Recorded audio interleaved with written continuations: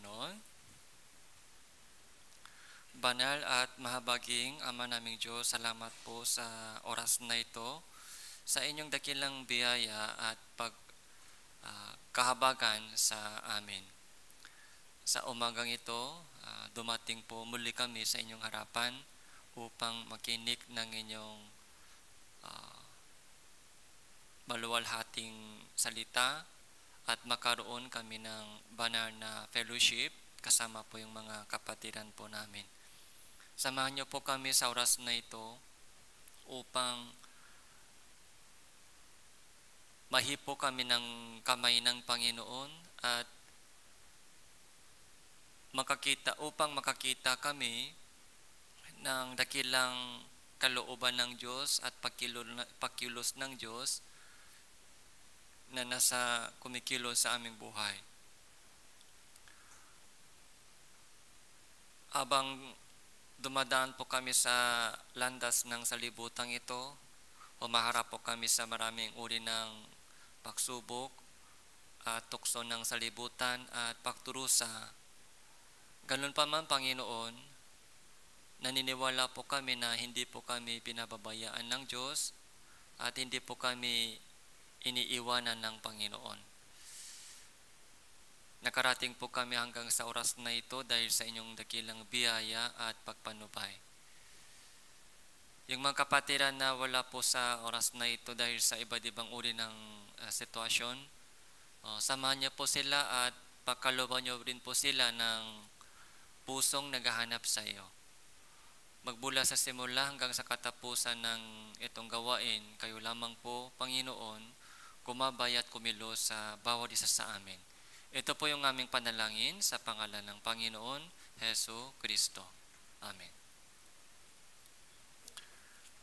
Uh, buksan po natin ang ating mga Biblia. Uh, Apocalypse, Apocalypse chapter uh, 7,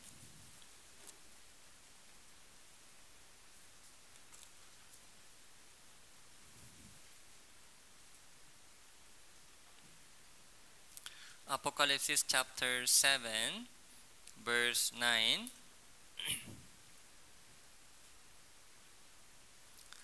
So hanggang uh, verse 17 po, magmula verse 9 hanggang verse 17, medyo mahaba po yung main texto po natin ngayon, pero uh, basahin po natin. Uh, magsalitan po tayo, magsalitan. Ako po muna magbasa, pagkatapos kayo, one verse by one verse. Ready na po? Pagkatapos ng mga bagay na ito ay tumingin ako at naroon ang napakaraming tao na di mabilang ng sinuman mula sa bawat bansa, sa lahat ng mga lipi, mga bayan at uh, mga wika na nakatayo sa harapan ng trono at sa harapan ng korodero na nakasuot ng mapuputing damit at may mga sanga ng palma sa kanilang mga kamay.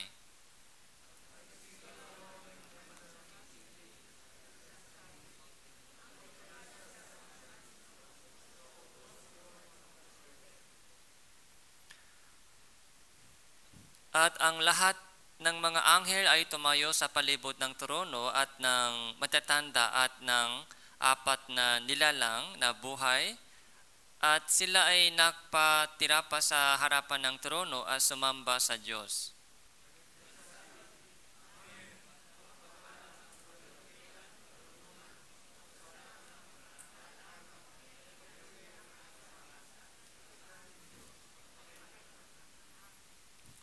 Uh, sumagot sa sumagot ang isa sa matatanda na nagsasabi sa akin, ang mga ito na may suot ng napuputing damit Sino ba sila at saan sila nanggaling?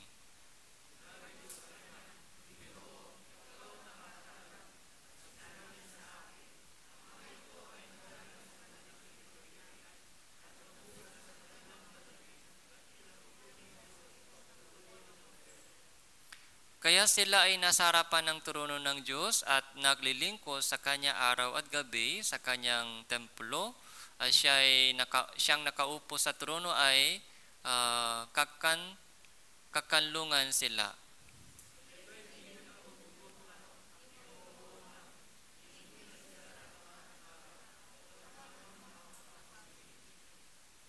Sapagkat ang korodero na nasakit na ng trono ay siyang nagiging, magiging pastor nila. Uh, sila ay papanubayan patungo sa mga bukal ng tubig ng buhay at papahilan ng Diyos ang bawat luha sa kanilang mga mata. So, uh, ito po yung title, uh, Uh, yung pinaka main text po natin ngayon ay verse uh, 13 po.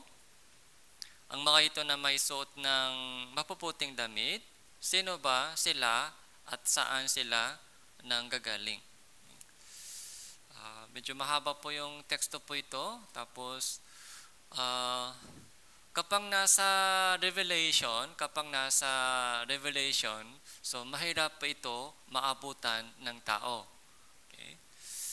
Uh, sa new tuwing bagong taon, 'di ba, nakakaroon po tayo ng resolution, New Year's resolution.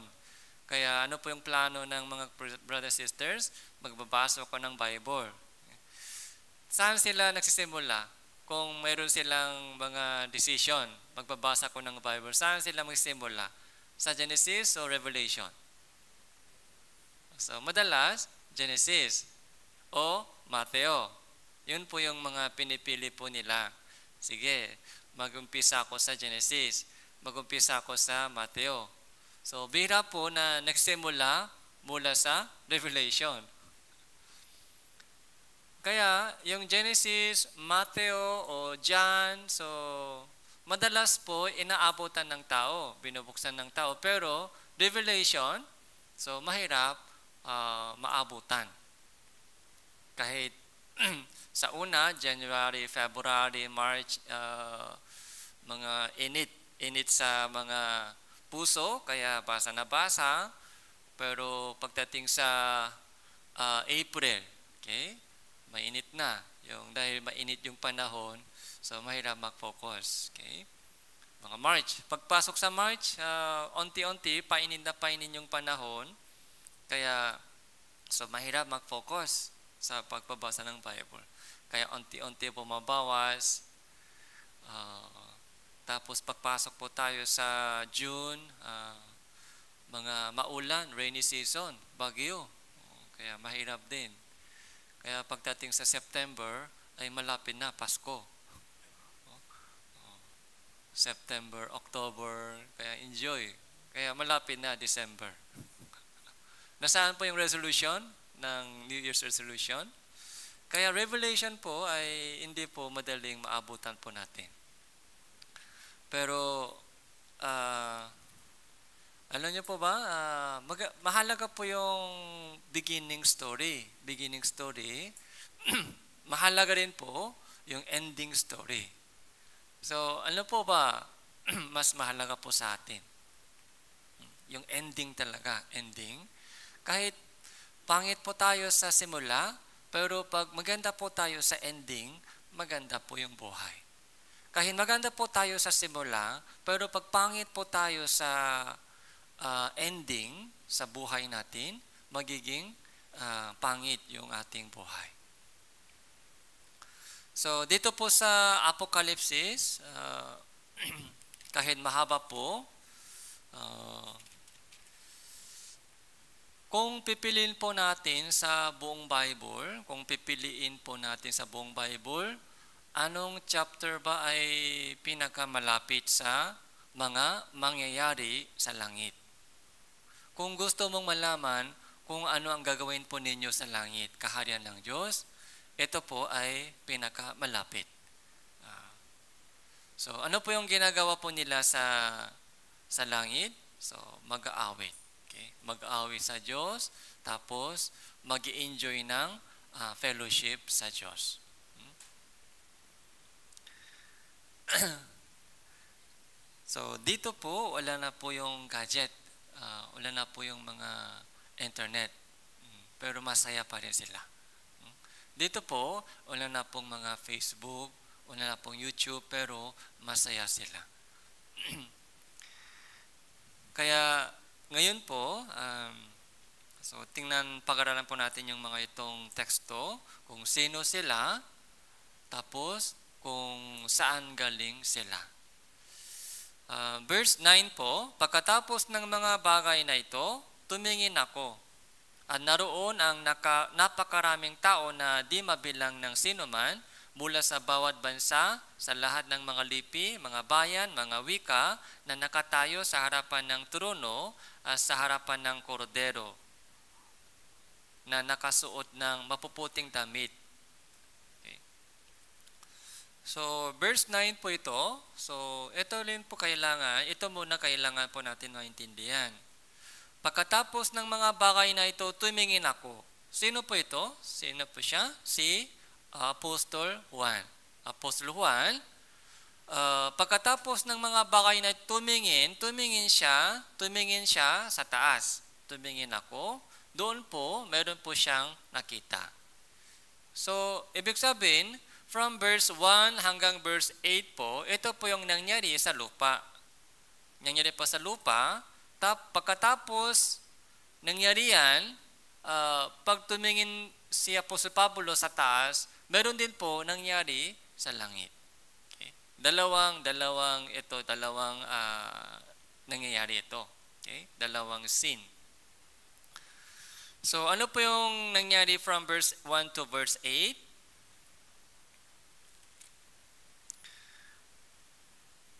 uh, verse 4, verse 4, narinig ko ang bilang ng mga uh, tinatakan, 144,000 tinatakan mula sa bawat lipi ng mga ang anak ni Israel. So, uh, yung mga anak ni Israel, 144,000. 144,000 ay tinatakan. Tinatakan po, anong meaning ng tinatakan? naligtas na po sila. Tinatakan.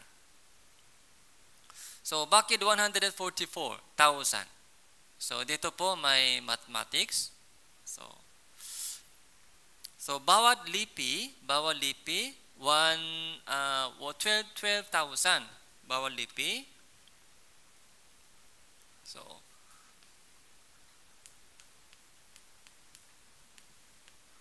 so times okay. Uh, sino dito magaling sa math? Okay?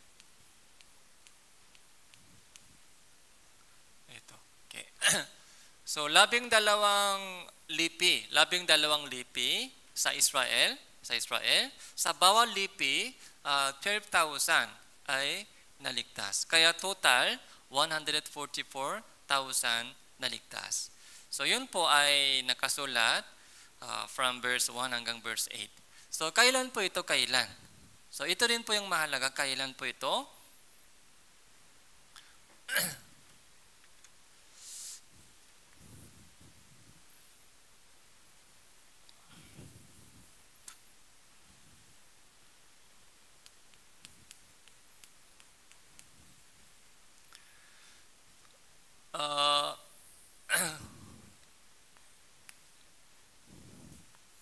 Ito yung first coming of Jesus. First coming of Jesus.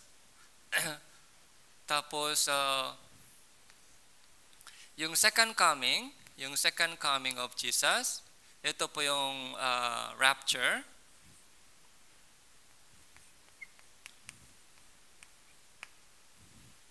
So, nandito po tayo na malapit sa second coming. Okay?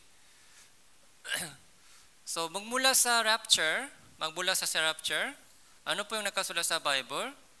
Uh, seven years, seven years of tribulation. Seven years of tribulation. So, dalawang dalawang yung bahagi. First, uh, first three and a half years. Mga second three and a half years. First, three and a half years. Second, three and a half years. Okay. So ito pong seven years of, seven years of tribulation. So para sa mga baguhan, ipapaliwanag ko ng saglit. Seven years of tribulation, ito po ay ini itinabi ng Diyos, inihanda ng Diyos para sa mga Israelita. Para sa mga Israelita. Okay? So, Kung may time po tayo next time, ipapaliwanag ko sa inyo bakit 7 years dito. Uh, yung 7 years po ito, uh, may math din. Okay, 40, 490 years. So minus 7, ano yun? 483 years. Ito po yung tapos na sa lumang tipan. Tapos na. Tapos na. Uh, uh, inihanda po ng Diyos yung 490 uh, years para sa mga Hudyo. Magmula nung, magmula nung itinayo, magmula nung uh, itin, itinayo muli yung templo ng Jerusalem. Yung templo ng Jerusalem po ay itinayo o muli uh, sa panahon ng Serubabel. Sa lumang tipan po, sa panahon po ng Serubabel, itinayo muli yung templo uh, ng Diyos sa Jerusalem. So mula noong, nagsimula po yung counting, 490. Kaya hanggang dumating si Jesus, 483 years ay tapos na. Pagkatapos, hindi na po tuloy yung counting, stop saglit, stop for the meantime yung counting. Stop yung counting. Saan po yung simula, muli yung counting? Dito po, uh, start again yung counting. Seven years po ay dito para sa mga Hudyo. So, ba, uh, para sa mga Israelita, kaya sa loob ng itong seven years of tribulation, yung tribulation po ito, halimbawa, yung COVID-19. COVID-19, tribulation po ito, tribulation. Parang, ito yung mga uh, uh, yung practice po ito. Parang shadow po ito. Yung COVID-19 ay nagbibigay po sa atin kung ano ang mangyari sa loob ng itong seven years. Pandaig po, pandaigtik po yun, pandaigtik. Pandaigtik, halimbawa, yung climate change ngayon. So, narinig po ninyo yung mga, yung mga balita sa television, sa Amerika, sobrang lamig ngayon. Sobrang lamig. Dahil po sa climate change. Yung climate change po, ay hindi lamang po ilang country inaabot, inaapektuhan. Yung buong mundo po ay inaapektuhan ng climate change yung global warming, natutunaw yung mga yelo, tapos yung mga uh, uh, ano po, yung global warming, yung uh, init, yung tagutom, air pollution. Okay? Dahil po sa dahil dumami na po yung mga sasakyan, air pollution, global warming, climate change. Okay? Tapos yung mga sakit, Dati po, pag sinabing po ng mga sakit, salot, isang bahagi lang ng mundo, isang bahagi lang. Pero ngayon, buong mundo, pandaigtik po yan. Yan po yung tinatawag na tribulation. Seven years of tribulation. Uh, bumunta po tayo sa chapter 6, Revelation chapter 6.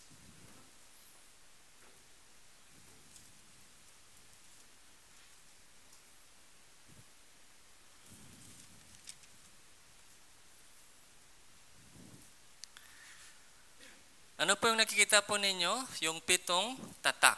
Okay? Tatak, pitong tatak seal.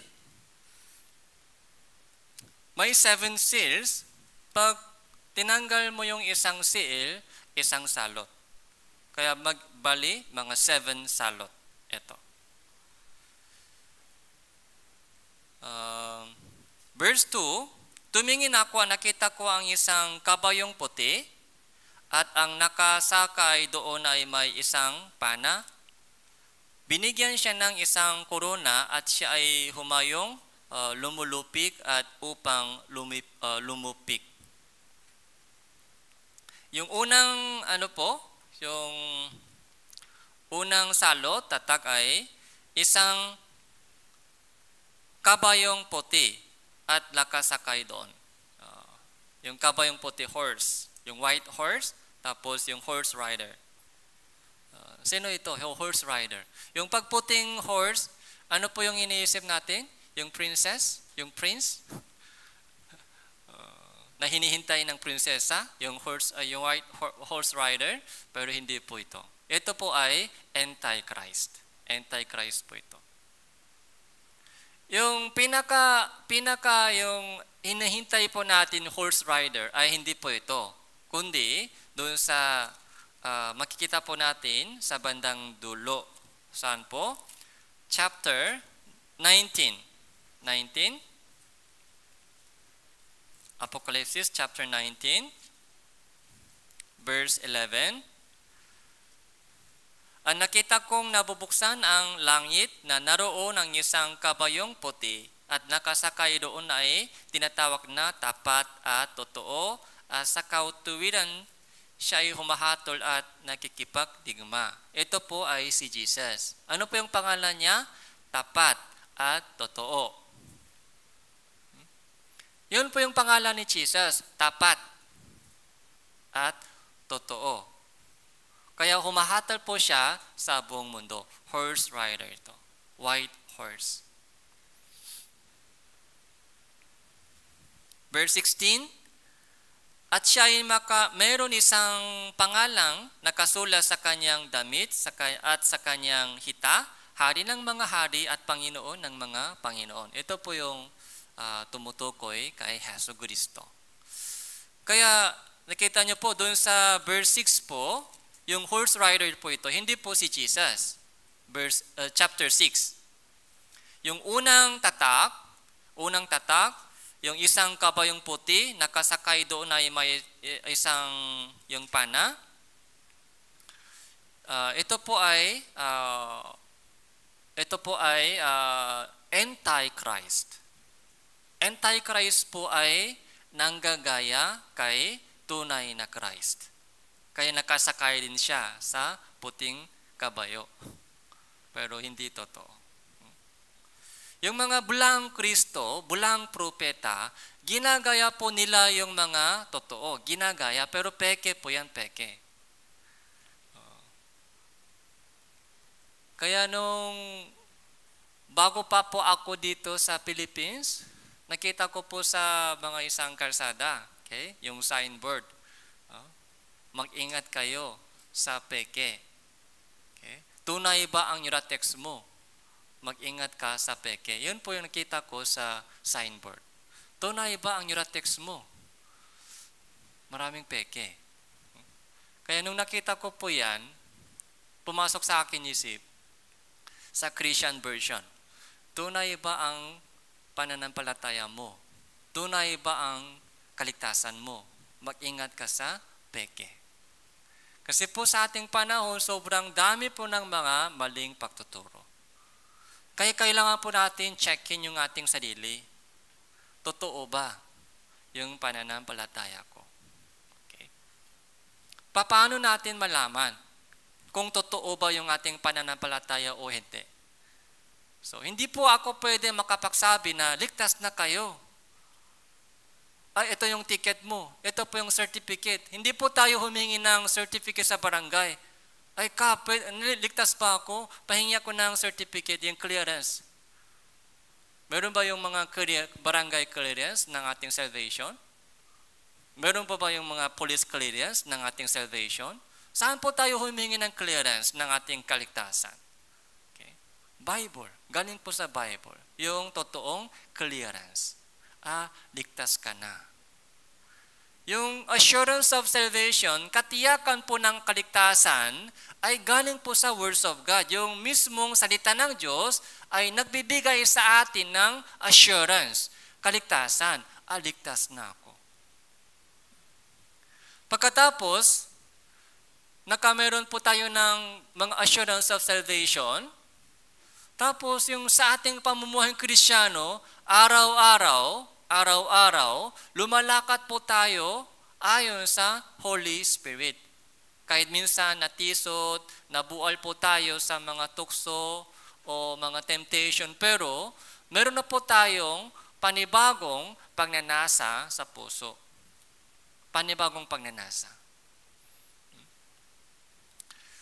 So, yun po yung evidence. Okay? Kaya, uh, wag po tayo madaya ng peke. Okay? Wag po tayo madaya ng peke. Kahit nakikita mo yung mga horse rider. Okay? So, kailangan po natin check-in kung totoo sila o hindi.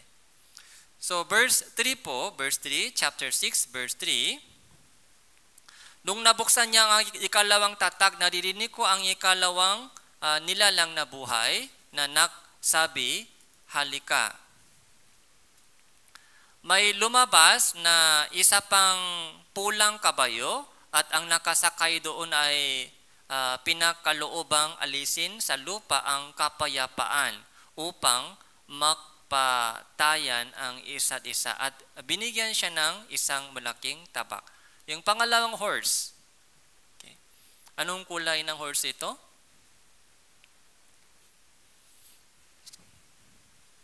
Yung put, pulang kabayo, di ba? Pulang kabayo, red horse. Yung pulang kabayo, red horse. Ito po yung horse ng uh, gera, war. Okay. Kaya maraming patay dito. Pinapaalis niya, pina, pinapaalis niya sa lupa ang kapayapaan. So, kaya wal, nawala yung kapayapaan. Ngayon po, ito din po yung nangyari unti-unti. Nawala po yung kapayapaan. Dumadami po yung mga mga crisis, yung mga economic crisis, political crisis. Pag bumaksak po yung ekonomiya, tingnan mo anong mangyayari. Okay? Maraming mga, lalo po sa ganitong mga sitwasyon kaya China, sa pagitan ng China, Amerika, sa Japan, bawat bansa. Okay? So, ito po yung mga uh, salot ng gera. Verse 5, Nung nabuksan niya ang ikatlong tatak, narinig ko ang ikatlong nilalang na buhay, nagsabi, halika, at nakita ko ang isang kabayong itim. At ang nakasakay dito ay may isang timbangan sa kanyang kamay. Pangatlong kamayo, kabayo, ano po? Itim, black horse. Ano po yung meaning black horse? Ito po, may timbangan, may timbangan. Ano po yung ginagamit? Saan po ginagamit po yung timbangan? Sa market. Sa palengke po, ginagamit po yung timbangan. Yung black horse na may timbangan sa kamay. Ito po yung tagutom. Uh, sabi po doon sa verse 6 po, isang takar na trigo para sa isang denaryo at sa isang uh, denar isang denaryo ay tatlong takar na sebada. So, ibig sabihin, tumaas po yung presyo ng pagkain.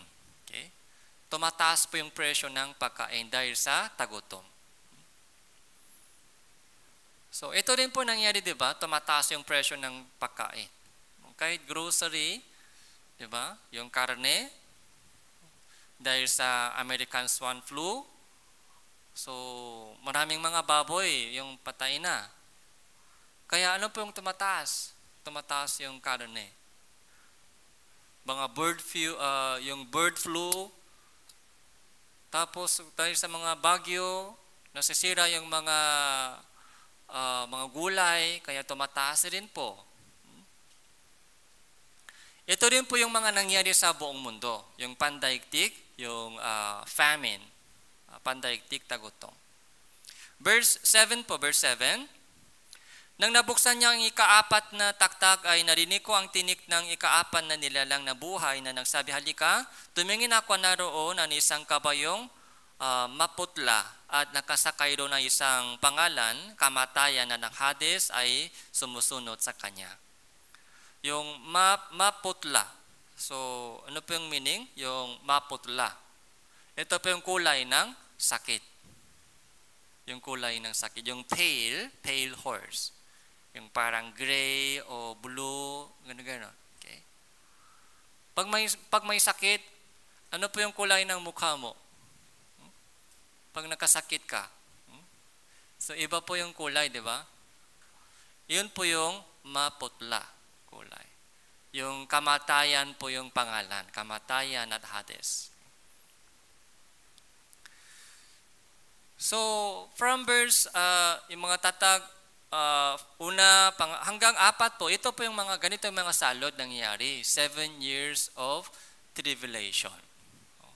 Seven years of tribulation. Verse 12, ito po yung pinakamatinding mga ano po, salot. Nang nabuksan niya ang ika-anim na tatak, nagkaroon ng malakas na lindol at ang araw ay umitim na gaya ng damisako at ang bilok na buwan ay naging gaya ng dugo. Ang mga bituin sa langit ay nahulog sa lupa gaya ng puno ng igos na nalalaklak ang kanyang bung, bungang bu, bu, bubot kapag imu, inuuga ng malakas na hangin. Verse 14, ang langit ay nahawi na gaya ng isang balumbong uh, nilululnon at ang bawat bundok ay at pulo ay naalis sa kanilang kinalalagyan. So, ito po yung pinaka mga so matinding salot. So, malakas na lindol, araw ay umitim na gaya ng dami sako, tapos yung mga uh, buwan ay naging kagaya ng dugo, yung bilog ng buwan dahil sa usok. Pag maraming mausok po, yung buwan po, yung kulay ng buwan ay magiging uh, yung parang uh, dugo, yung kulay. Kung titinan po natin sa Bible, so hindi lagi magandang mensahe. Ito, ganito mga nakakatakot na mensahe ang nakasulasin pa sa Bible. Pero wag po kayo matakot. Okay? Wag po kayo matakot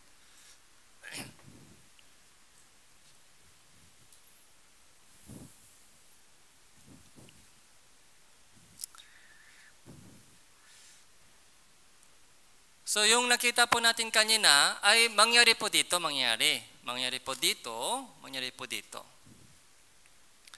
Pero at the same time, so iniligtas po ng Diyos yung mga uh, iniligtas po ng Diyos yung mga 144,000 Israel. Okay? Israel po sila, Israel, Israel. Israel po sila during this time. Tapos yung mga, tayo po, nasaan na po? Sa itong panahon, nasaan na po tayo? Ito po yung problema. Ito po yung, mala, yung, yung tanong po natin. Nasaan po tayo sa itong seven years tribulation? Nasaan po tayo? Ano po sa Bible? Bago dumating po yung rapture, ito po yung rapture, ano po yung mangyari, ang, ano po yung nangyari sa atin? Kukunin po tayo ng Panginoon. Bago po mangyari po ito, rapture, yun po yung meaning ng rapture. Bago magsimula yung mga tribulation po dito, kukunin po tayo ng Diyos. Ito po yung rapture. Okay. Kukunin tayo. Yung mga maiwan sa rapture, yung mga maiwan sa rapture ay papasok dito. Yung mga maiwan.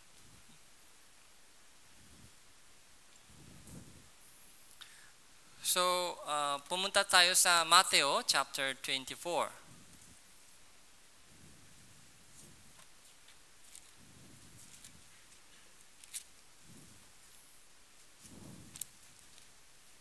So, Mateo chapter 24.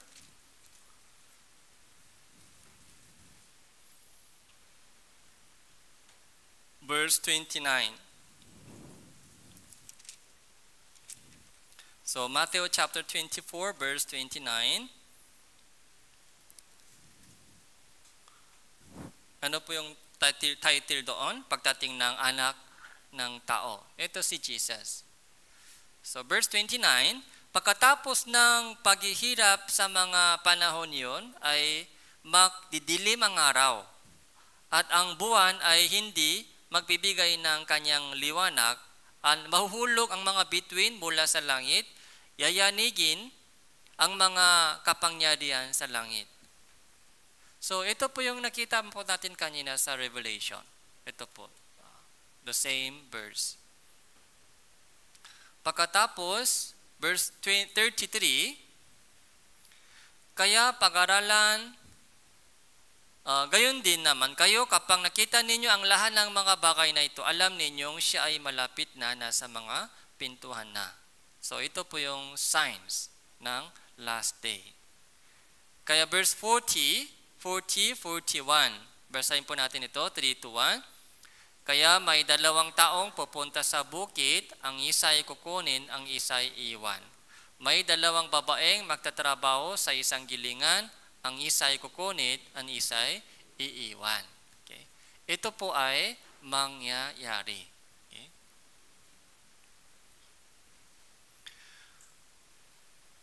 Pag nakita po natin yung signs na ito, mga salot.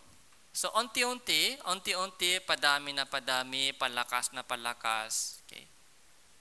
Tapos, darating po yung time na ito na isa ay kukunin, isa ay iiwan. Hindi po ito religion. Yung mga kapatiran po dito na ngayon sa oras na ito. Okay. So, maswerte po kayo. So, kasama po ako doon. Kasama po ako sa dyan. Dahil, habang buhay pa tayo, habang dumating, habang hindi pa dumating yung panahon po ito, nakita po natin sa Bible kung ano ang mangyayari sa future. Dahil alam na natin kung ano ang mangyayari sa future, pwede na po tayo maging handa. Pwede po natin ihanda yung ating sarili. Yun po yung wisdom, di ba? Wisdom.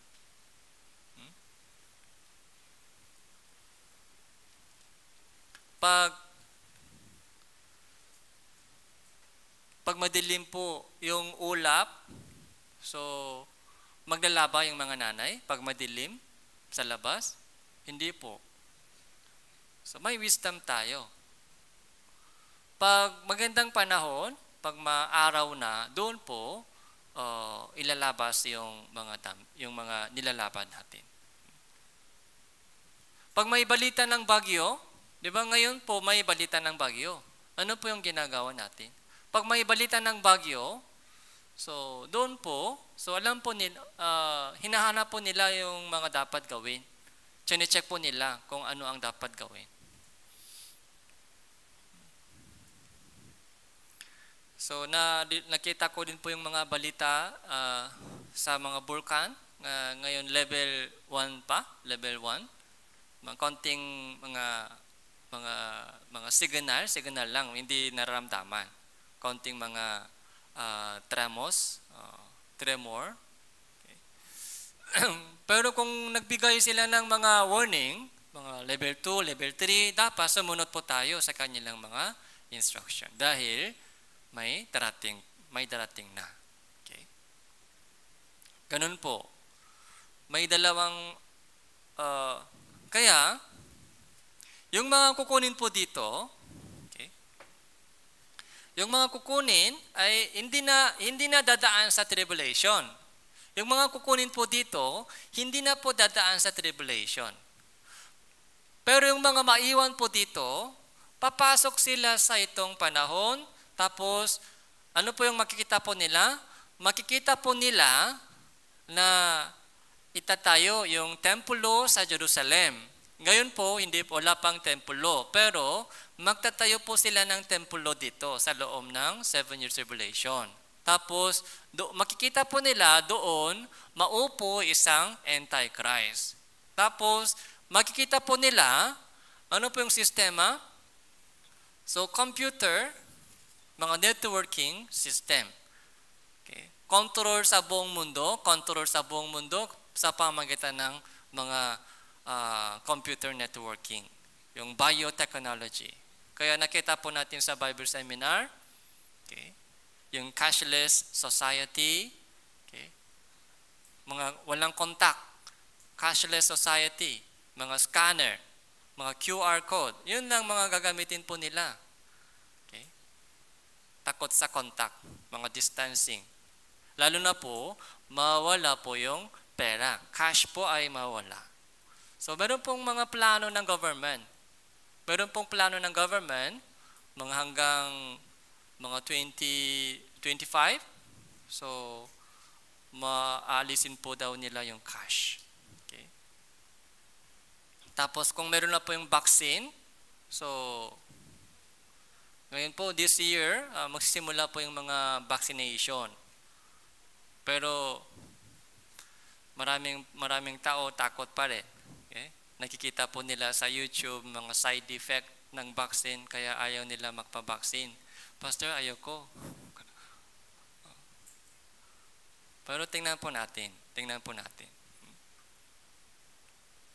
Unti-unti, nakikita po natin yung mga simula ito. Okay? Unti-unti. So, handa na po yung mga sistema ito. Handa na po. Handa na po yung sistema ito. Pero yung Kristiyano po, ito during this time, mga Israelita, ito maliligtas.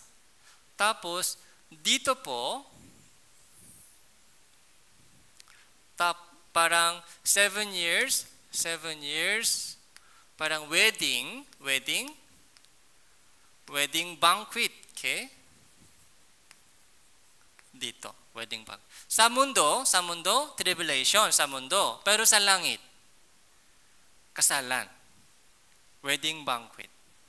Dito po tayo sasama. Dito tayo.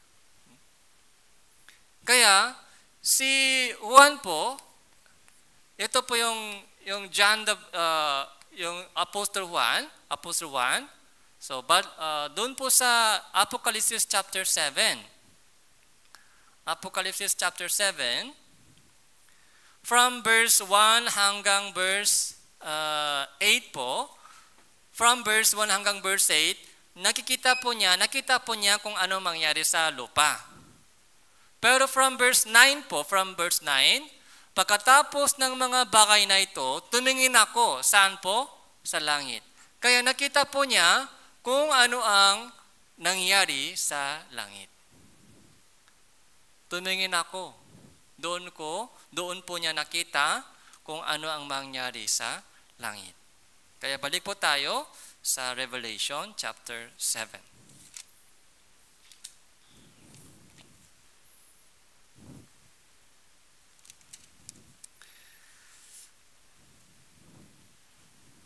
Kaya doon po, may taong di mabilang. Tama po ba? Sa lupa, yung mga Israelita, 144,000 na Israelita ligtas na. Pero sa langit, ilan po? Ilan po na sa langit? Hindi mabilang ng tao. Ay nandoon na. Nandoon na po sa langit yung mga taong hindi mabilang. Saan po sila galing?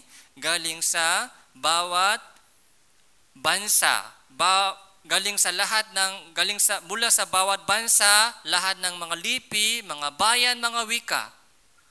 Okay? Yung mga Pilipino kasama doon. Okay? Yung mga Pilipino kasama doon. Yung mga Koreano kasama doon. Yung mga taga-Japanese, yung mga taga-Amerika, galing sa bawat wika, bansa, lipi, ay nandoon na. Di mabilang ng tao ito. Sila po ay mula sa creation, sa lumang, yung mga taong naligtas sa lumang tipan hanggang sa rapture. Lahat.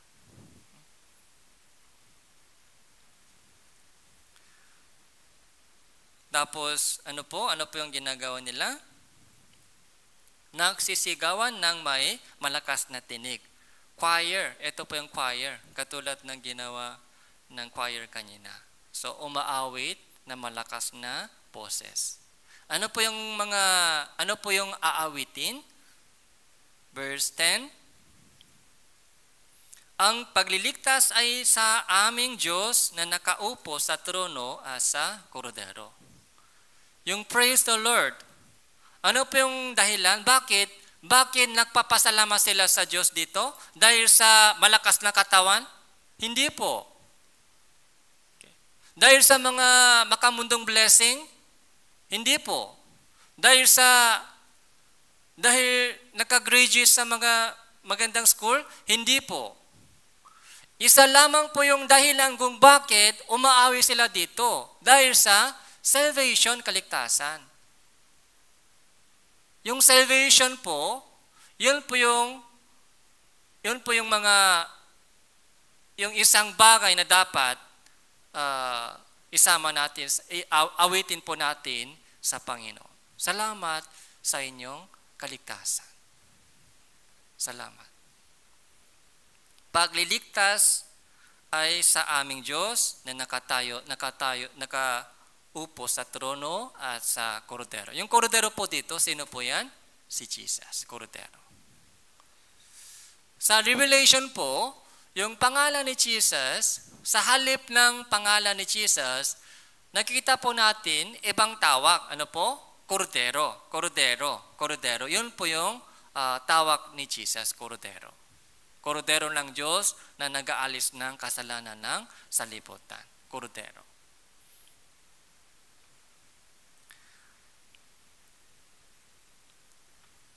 Verse 12, pati yung mga anghel ay sumasama rin sa yung pagpupuri. Verse 12, Amen ang pagpapala, kalawalatian, karunungan, pagpapasalamat, karangalan, kapangyarihan, kalakasan ay sa aming Diyos. Magpakailan paman. Amen. Choir. Okay? Kahit hindi marunong umawit, kumanta, okay lang. Kasi yung kaganda ng boses, hindi po malaking issue dito. Yung pusong nagpapasalamat. Yung pusong nagpapasalamat, yun po yung mahalaga dito. Tuloy-tuloy. Habang buhay pa tayo sa mundong ito, ito yung mga practice natin sa buhay habang buhay pa. Sa langit, ito lang gagawin natin, ito lang gagawin. Kaya habang buhay pa tayo sa mundo ito, ito yung dapat i-practice natin. Salamat sa Diyos. Tapos evangelism. Paano yung mga mahal ko sa buhay, kasama dito. Lalo na po sa ating panahon. Baka may nagsabi, ay pastor, kung ito lang lagi gagawin, magiging boring. Ayaw ko dyan. Pero hindi po natin ma-imagine kung ano po, kung gaano kaluwalhati ito. Hindi po natin ma-imagine kung gaano kasaya, uh, kasaya uh, ganitong mga buhay doon.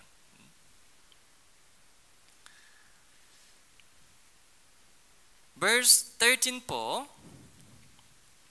ang at sumagot ang isa sa, mga, sa matatanda na nagsasabi sa akin, ang mga ito na may suot ng mapuputing damit, sino ba sila at saan sila nanggaling? Sino ba sila? Yung mga mabilang tao sa langit na naka, nakasuot ng mapuputing damit. Mapuputing damit, tapos nagpupuri sa Panginoon. Ang tanong, sino ba sila? Kaya verse 14 po may sagot. Sinabi ko, sinabi ko sa kanya, Ginoo, ikaw ang nakakalam. At sinabi niya sa akin, ang mga ito ang nanggaling sa malaking kapikatian at naghugas ng kanilang mga damit at pinaputi ang mga ito sa dugo ng kordero.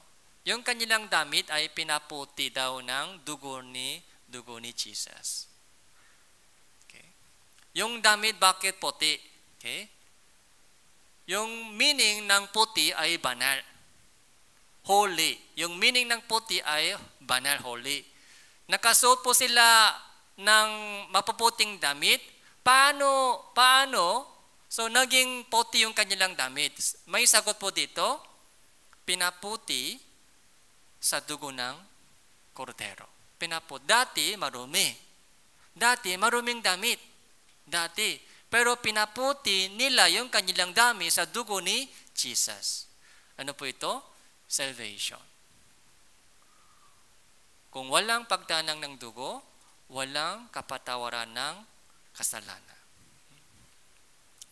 Pumunta po tayo sa unang Pedro chapter 1. Yung Hebreo muna, Hebreo chapter 9 verse 20 uh, 22. Hebreo chapter 9 verse 22.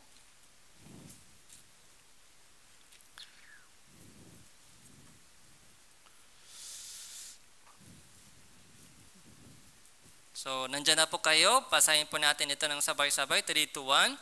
Sa katunayan, sa ilalim ng kautusan, halos lahat ng mga bagay ay nilininis ng dugo. At kung walang pagtanak ng dugo, ay walang kapatawaran ng mga kasalanan. So, bakit dumanag po yung dugo ni Jesus? Okay. Dahil yung dugo po ay pantubos pantubos sa ating kasalanan. Walang ibang paraan. Okay. Kung walang pagdanang ng dugo, walang kapatawaran ng mga kasalanan. So yung mga teaching po ng mga religion, humihingi daw, kailangan daw humingi ng tawad para mapatawad yung kasalanan. Pero mali po yun, mali. Yung paghingi ng sorry, humingi ng tawad, yun po yung mga ugali ng tao. Kaya kapag nakasala po sila, hingi ng hingi ng tawa, patawarin mo ako, patawarin mo ako. Yun po yung dahilan kung bakit nagsisimba sila para humingi ng tawad. Kaya pag humingi sila ng tawad, parang magaan. Ay, may bawas na. May bawas. Dahil humingi na ng tawad, may bawas. Pero, habang tumatagal, nakakasala pa rin, di ba? Hindi natin maiwasan yung kasalanan habang buhay pa, nakakasala, ay, kailangan ko humingi ng tawa sa, sa simbahan. Kaya nagsimba. Yun po yung tinatawag na so yung pangumpisar. Confess. Tapos yung patawarin. Pagpapatawad. Parang tama sa konsepto ng tao. Pero sa Bible, mali. Kailangan po natin bayaran yung kasalanan. Legal, legal problema. Okay. Yung may, may bayad sa ating kasalanan, di ba? Magkano po yung bayad ng ating kasalanan? Yung multa, yung mga penalty. Okay. Yung kamatayan po yung penalty ng ating kasalanan, yung penalty. Kaya para mapatawad po yung ating kasalanan, so dapat magbayad ng kasalanan. Yung mga kabayaran po ng ating kasalanan ay buhay, dugo. Kaya si Jesus pumarito sa mundo ito at ito po yung ginawa niya. Chapter 9 verse 12. Chapter 9 verse 12. Hindi din sa pamamagitan ng dugo ng mga kambing at mga toro, kundi sa pamamagitan ng kanyang sariling dugo, siya ay pumasok na minsan magpakailanman sa dakong banal, sa gayoy tinitiyag ang walang hanggang katubusan. Tandahan po natin uh, yung salitang walang hanggang katubusan. So, pwede po natin ulitin sabay-sabay, 3, 2, 1. Walang hanggang katubusan. Walang hanggang katubusan. Ibig sabihin, tinubos na po tayo magpakailanman. The same meaning. Tinubos na po tayo magpakailanman nung dumanak po yung dugo ni Heso Kristo. Okay. Pumunta po tayo sa unang Pedro, chapter 1. Unang Pedro, chapter 1, verse 18.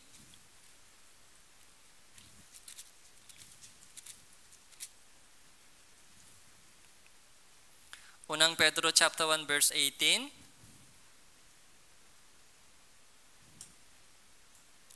Nalalaman ninyong kayo'y tinubos mula sa inyong mga mula sa inyong walang katub, kalup, kabut, kabuluhang paraan ng pamumuhay na minana ninyo sa inyong mga ninuno, hindi ng mga bagay na nasisira kundi ng pilak o ginto, kundi ng mahalagang dugo ni Kristo, gaya ng sa korderong walang kapintasan at walang dungis. Tinubos na kayo. Paano? Sa pamagitan ng dugo ni Heso Kristo. Si Kristo, si Jesus ay korderong walang kapintasan at walang dungis. Si Jesus, walang kasalanan, di ba? Si Jesus, walang kasalanan, pero pumarito siya sa mundong ito, dalawang libong taon na nakakalipas, at ipinako siya sa cross, at dumanak na po yung kanyang dugo. Bakit po? Para sa ating mga kasalanan. At tubos na. Natubos na po yung ating mga kasalanan. Yun po yung pag-ibig ni Jesus sa atin.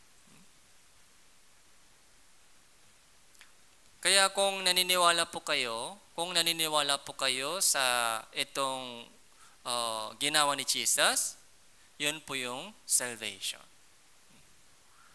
Ephesus chapter 2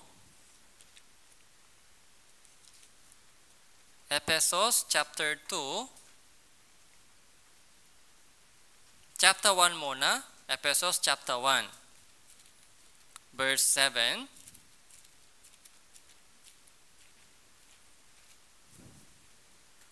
Ephesus chapter 1 verse 7, babasahin ko po. Sa Kanya ay meron tayong katubusan sa pamamagitan ng Kanyang dugo na kapatawaran ng ating mga kasalanan ayon sa mga kayamanan ng Kanyang biyaya.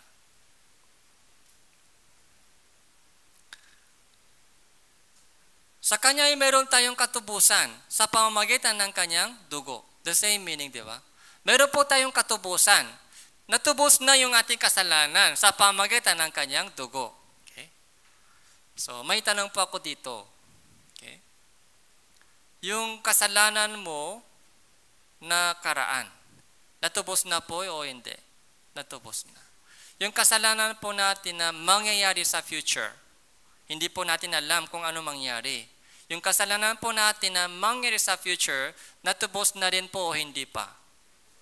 Natubos na rin. Bakit po? Namatay si Jesus. Okay?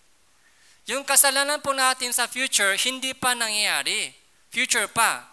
Pero, yung kamatayan po ni Jesus, future o past. Nakalipas na yung kamatayan ni Jesus. Isang beses lang po siya namatay. Hindi po dalawang beses. Bakit isang beses po siya namatay? Dahil Sapat na po yan, sapat na. Pakulang po, kung pakulang po yan, pagkalahati lang, tinubos yung kasalanan natin, kailangan pa siya bumari, pumarito muli at mamatay muli para sa kasalanan. Pero hindi na po kailangan pangalawang kamatayan dahil isang kamatayan ay sapat na po. Yan po yung walang hanggang katubusan. Kaya kahit nagkakasala po tayo sa darating na panahon, kasi may sinful nature tayo, may likas ng kasalanan. Minsan nagagalit tayo, minsan nagje-jealous, nag-inggit po tayo, minsan matigas yung ulo. Ganun pa man, yung ating future sin, yung ating kasalanan ay lahat ay tinubos na. Yun po ang uh, nananatili sa ating puso. Nagpibigay pa rin ng assurance of salvation. Anak pa rin ako ng Diyos. Kung hindi po ito malinaw, kung hindi po ito malinaw sa inyo, nalilito pa rin. Kapag nakasala, anong mangyayari sa imperno ba ako? Takot pa rin sa imperno hindi pa malinaw. Ibig sabihin, hindi pa malinaw yung pagkaunawa. Walang hanggang katubusan. Isang beses lang kamatayan, pero warranty. Hanggang kailan po yung warranty? Magpakailan, po, magpakailan pa yung warranty. Okay? Warranty. Nakaraan, uh, nakaraan linggo, mga dalawang araw nakaraan, two days, three days ago, nagpunta po ako sa Toyota Service Center. Toyota Service Center kasi yung Innova ko, oh, matanda na siya. Uh, 2005 years old model. 2005. Kaya ilang taon na po? Mga 16 years, mga, kaya medyo maraming sakit. maraming sakit. kaya dinala ko po sa Toyota Service Center, daming tao, narinig ko po yung mga mang-usap ng isang uh, customer, matanda, matandang uh, isang uh, uh, yung babae. So, yung tanong po niya, so, may warranty pa, may warranty pa. Hindi ba pwede libre? So, pag may warranty pa, libre po yan, di ba? Libre yung parts. Libre yung labor. Yun po yung mga main concern niya kung pwede ba ma-cover ng warranty o hindi. Kasi kung hindi cover ng warranty, malakas yung gastos. Yun po yung takot niya. Kaya una niyang tanong, pwede ba ito ma-cover ng warranty? Okay? Kasi kung hindi, pwede, malaking gastos. Lalo po sa mga service center, Toyota, kahit konting sira, mga malaking gastos agad. Kaya yun po yung mga concern nila, yung warranty. Ito ba yung mga na-cover ng warranty? Kung hindi, takot sa malaking gastos. Paano po yung ating kasalanan? Okay. Kung hindi, kung mga 10 years lang yung warranty, yung, yung redemption, 10, kung mga 10 years lang yung warranty, ng redemption ni Jesus. Sa loob ng 10 years, so may peace of mind. Pero after 10 years, bayat, takot. Pag nakasala ka, dapat humingi ka ng tawad. Kung hindi, imperno ka. Kung gano'n, takot tayo. Pero yung warranty ng kaligtasan, ilang taon po yung warranty? eternal warranty. Everlasting warranty. Kaya kahit anong mangyari sa future natin, ligtas pa rin. Cover, cover pa rin ng dugo ni Jesus. May warranty. May resibo ba tayo? May resibo? Ito po yung resibo. Kaya, i-keep well. Ingatan po ninyo yung resibo ito. Huwag mo itong tapon. Resibo warranty, eternal warranty. Kaya peace of mind. Peace of mind. Pero salamat pa rin sa Diyos. Hindi na po pwedeng mag-enjoy pa ng kasalanan. Ay, may warranty, kaya enjoy na tayo ng kasalanan. Hindi pwede dahil alam po natin kung ano po ang ginawa ni Jesus para matubos yung ating kasalanan.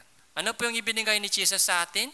Yung kanyang buhay yung kanyang dugo ay ibinigay niya sa atin. Chapter 2, Epeso chapter 2 verse 8.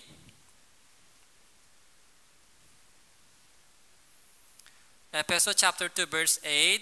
Uh, basahin po natin ito ng sabay-sabay. 3, 2, 1. Sapagkat sa biyaya kayo ay naligtas sa pamamagitan ng pananampalataya. At ito ay hindi sa pamamagitan ng inyong sarili, ito ay kaloob ng Diyos. So, biyaya. So, biyaya po ito. Sa biyaya tayo naligtas sa pamamagitan ng pananampalataya. Okay. So, uh, balik po tayo sa Revelation chapter 7.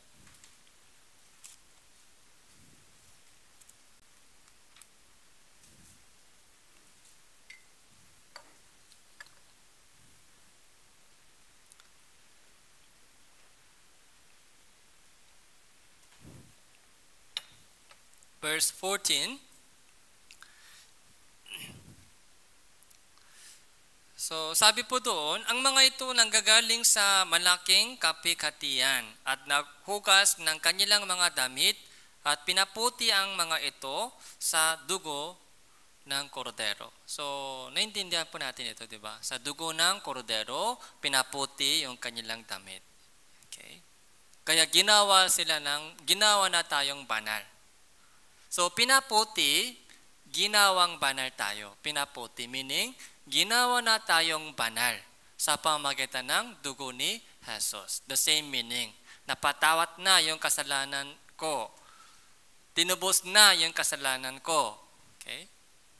Ginawa na akong banal, tapos nahugasan na yung kasalanan ko. The same meaning. Ligtas na ako. Hindi dahil sa gawa, kundi dahil sa pananampalataya lamang. Okay? Biyaya po yan. Tapos, saan galing po sila? Galing sila malaking kapikatian, di ba? Malaking kapikatian. So, tingnan po natin dito. Ano pong kapikatian? Yung mga tao dito sa taas, hindi mabilang. Okay? Hindi mabilang ng tao, yung kanilang daot ay ang mga puti. Okay? Hindi mabilang ng tao.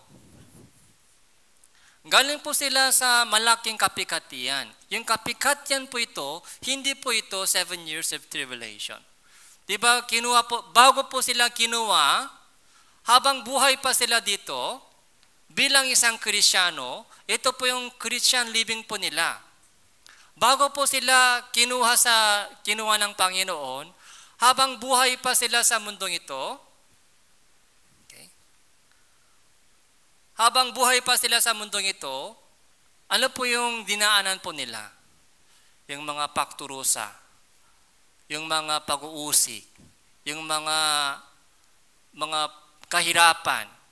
Yun po yung dinaanan po nila sa buhay. Hindi po madali sa kanilang Christian living. Mga sakripisyo, minsan lumuha sila, umiyak sila, tapos pinagalitan po sila ng magulang, pinapatawanan po sila ng mga tropa, yung mga barkada. Okay? Hindi po madaling mga Christian living. Kaya dumaan po sila sa maraming kapikatian sa kanilang Christian living. Kaya, yung tanong po, sino sila? Sino sila? Galing sila sa malaking kapikatian. Ibig sabihin, dumaan sila sa malaking kapikatian, Kristiyano. Pinaputi sila ng dugo ng kordero, tapos dumaan sila sa malaking kapikatian. Ito po yung ano po? Identity.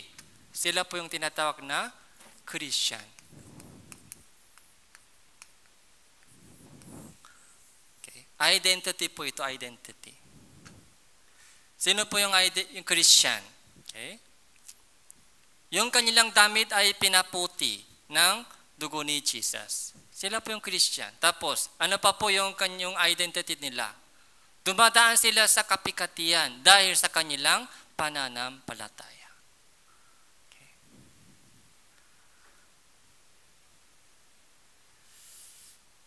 Uh, pumunta po tayo sa Juan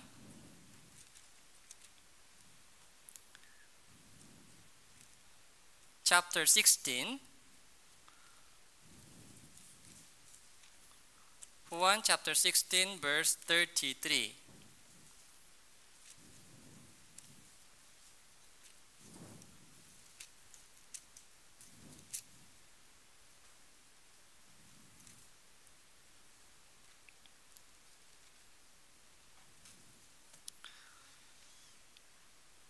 Juan chapter 16 verse 33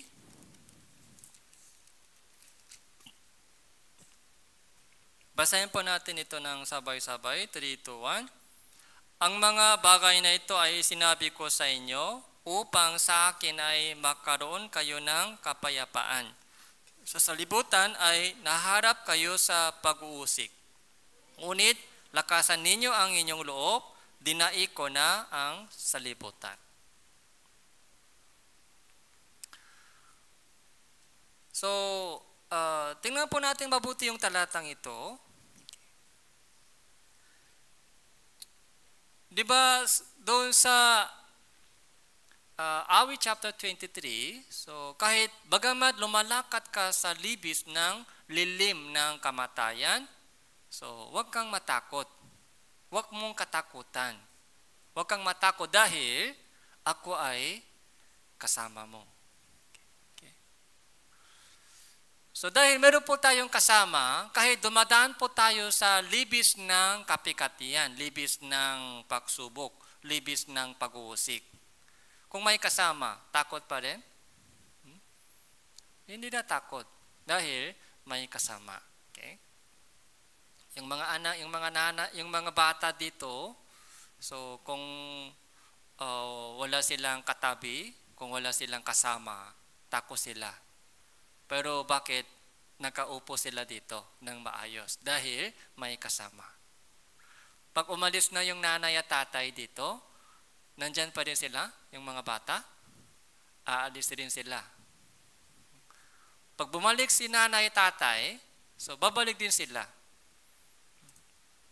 So ganun po, ang mga bagay na ito ay sinabi ko sa iyo upang sa akin ay makaroon kayo ng kapayapaan. Sa akin.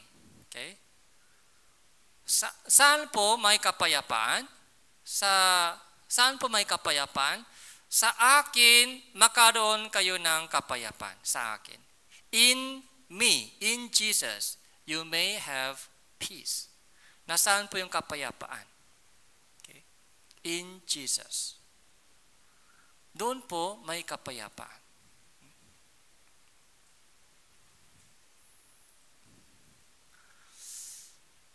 Sa kabila ng maraming uh, pagsubok sa buhay, sa kabila ng maraming mga problema sa buhay natin. So bakit may kapayapaan? Ma, bakit may, may kapayapaan pa rin tayo sa ating puso? Dahil na sa kay Jesus tayo. Si Jesus in me, I'm in Jesus. Sa salibutan, nahaharap kayo sa pag-uusik. Ito po yung nangyari. Sa salibutan, nagaharap kayo sa pag-uusik. Dahil yung salibutan ito, ayaw nila sa ayaw nila sa katotohanan. Ayaw nila sa katotohanan. Yun po yung takpo ng salibutan ito. Palayo na palayo po yung takpo ng salibutan sa katotohanan kay Jesus. Kaya, pag nakita po ng salibutan na hindi na po tayo sumasama sa kanila, so inuusik po nila yung kristyano, inuusik. Ito po yung experience ng mga uh, kristyano. Kaya sabi din sabi ni Jesus, unit lakasan lakasan ninyo ang inyong loob. Dahil dinai na ang salibutan. Dinai na ang salibutan. Kayong final, yung final victory ay nasa atin na. Final victory. So, balik po tayo sa Revelation chapter 7.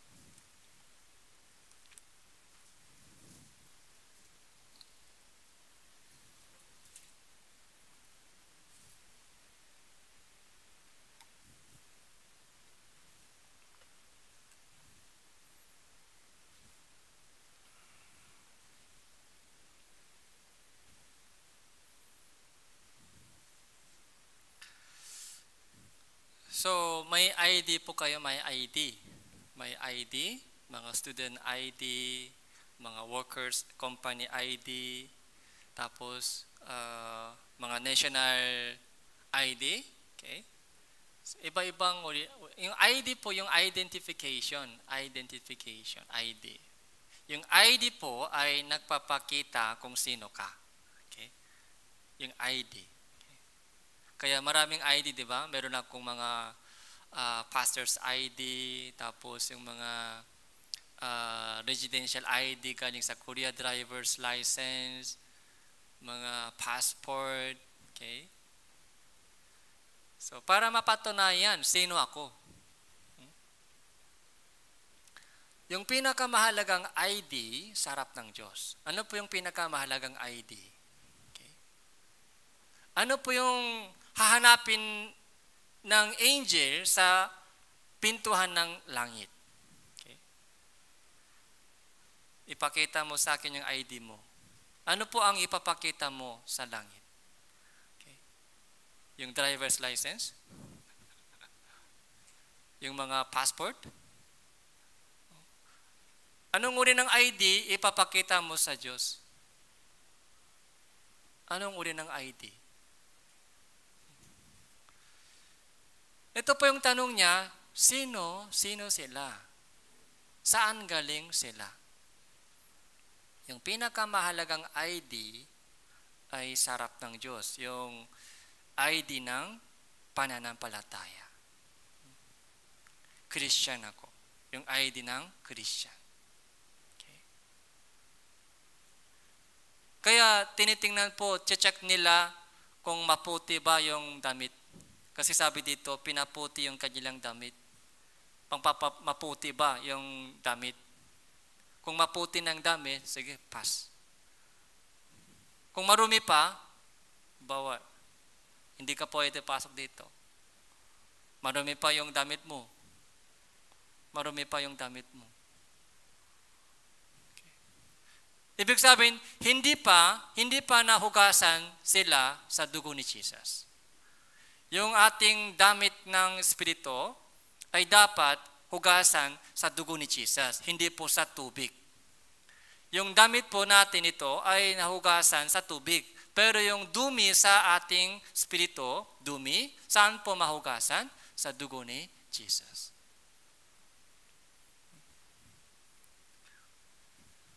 Kaya sala mong okay, marumi, nahugasan ka na ba sa dugo ni Jesus? Okay. Yung ating kasalanan ay dapat mahugasan sa dugo. Yung ID, ano pa po yung ipapakita? Pinaputi na yung damit ko. Tapos, saan ka galing? Anong sabi dito? Saan daw sila galing? Galing sa malaking kapikatian. Pag tinanong po tayo ng Panginoon, saan ka galing?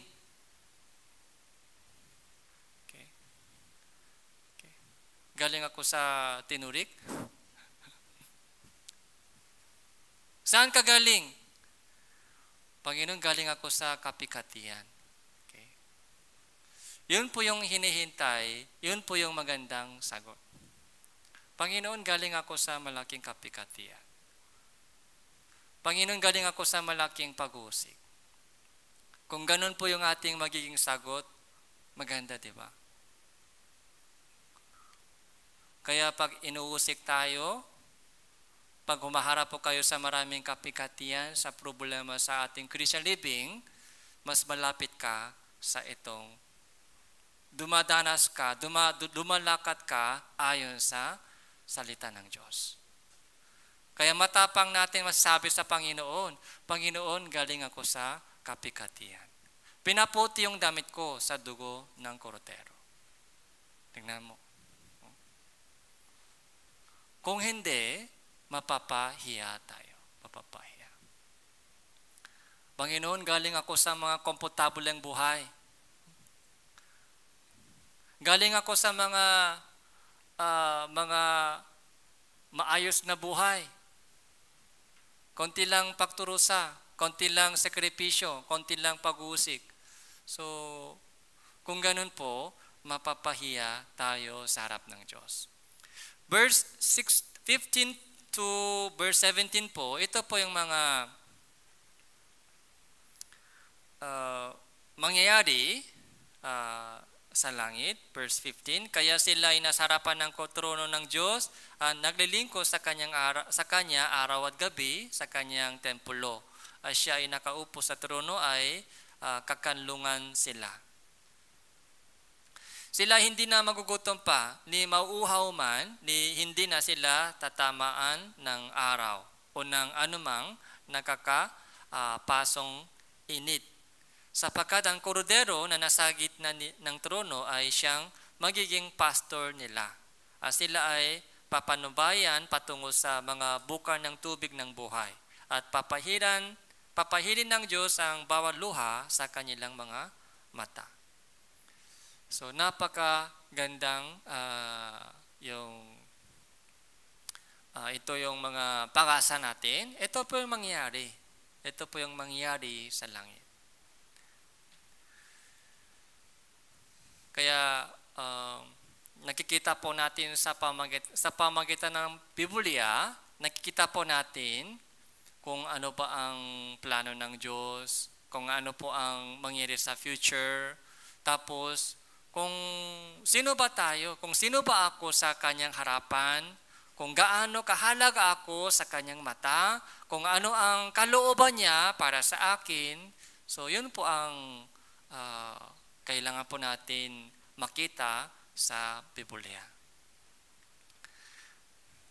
So, ngayon po, um, sa pamamagitan ng itong uh, mga Apocalypse chapter 7, ang di mabilang na mga tao.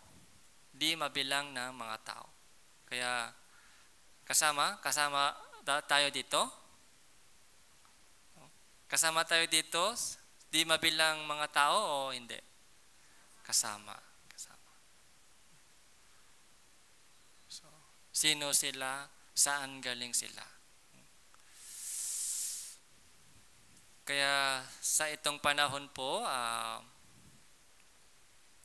yung mga bagong ligtas sa nakarang Bible Seminar. So, sana tuloy-tuloy po kayo sa mga pamumuhayang kristyano sa kabila ng mga pag-uusik. Siguro maririnig mo yung mga hindi magandang salita ng mga ibang tao. Bakit ganyan? Bakit ganyan? So, kahit hindi po nila naintindihan, so okay lang po. Basta uh, lumakat po tayo ayon sa uh, kalooban ng Diyos. Kung, kung ganon, ito po yung mangyari uh, sa atin. Okay? Let's pray. Okay. Salamat po ng Panginoon sa inyong dakilang biyaya at pagpanubay sa oras na ito. Nakita po namin sa Biblia kung sino ang anak ng Diyos, kung ano po ang dapat uh, lakaran ng inyong mga uh, minamahal na anak. Napakalaking pagpapala ito, Panginoon, na ipinakaloob niyo po sa amin.